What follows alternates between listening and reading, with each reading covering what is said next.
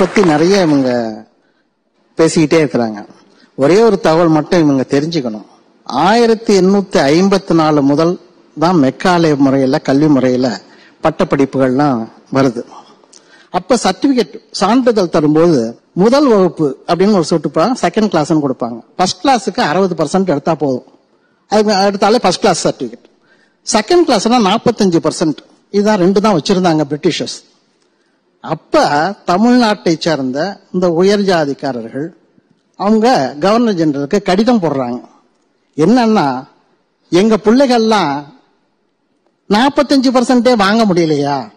அதனால தேர்ட் கிளாஸ்னு ஒன்று உருவாக்கி ஒரு முப்பது பர்சன்ட் ஆக்குனீங்கன்னா எங்க பிள்ளைங்கெல்லாம் பாஸ் ஆகணும்னு மனு போட்டாங்க. பிரிட்டிஷ்காரன் அந்த விதத்தில் நேர்மையானவன். முப்பத்தி மூணு பர்சன்ட் எடுத்தா போதும் தேர்ட் கிளாஸ்னு உருவாக்கலாம். அந்த தேர்ட் கிளாஸ்ல படிச்சு தேர்ட் கிளாஸ்ல பாஸ் பண்ண ஜெனரேஷனோட கொள்ளு பேரர்கள் தான் இன்னைக்கு மதிப்பெண்ணை பத்தி பேசிட்டு இருக்காங்க. ஆனா நம்ம சொல்றது தேர்ட் கிளாஸ் கிராஜுவேட்ஸ் கேட்கல